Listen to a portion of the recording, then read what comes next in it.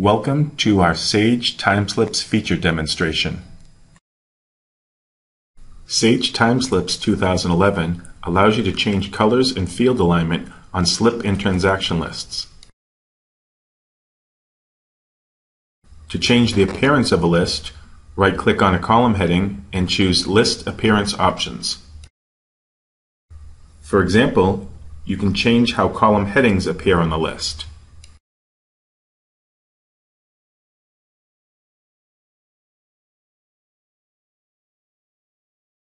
You can also choose if every other row is shaded or not.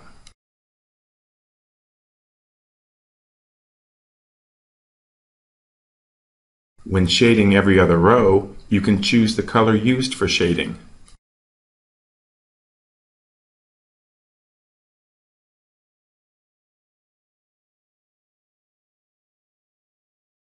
When records are made up of two rows, you can choose to shade every other row or every other record.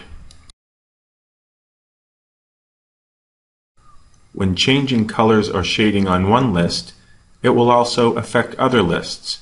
For example, the changes you made to the slip list will affect the AR transactions list.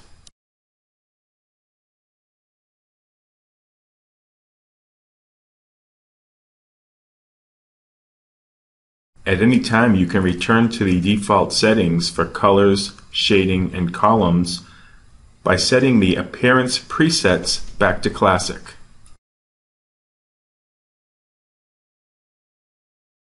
You can also customize the list by changing the alignment of specific columns. Right-click on any column heading, choose Align Fields, and then choose Left, Right, or Center.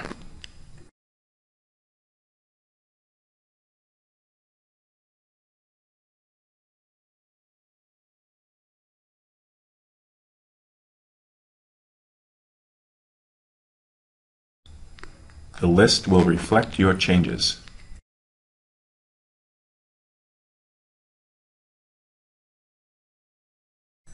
To learn more, visit our website at sagetimeslips.com or contact us at the phone number or email displayed on the screen.